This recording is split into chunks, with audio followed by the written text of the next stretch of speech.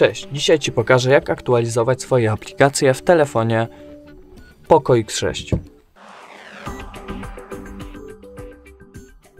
Aby aktualizować Twoje aplikacje w tym telefonie, należy wejść w sklep Play, następnie kliknąć w naszą ikonkę, potem w zakładkę Manage Apps and Devices i następnie ukażą nam się wszystkie aplikacje, które wymagają aktualizacji. Możemy kliknąć poszczególny update lub update all. Jeżeli klikniemy update all, wszystkie aplikacje zostaną zaktualizowane po kolei. Jak widzimy, aktualizacja rozpoczęła się.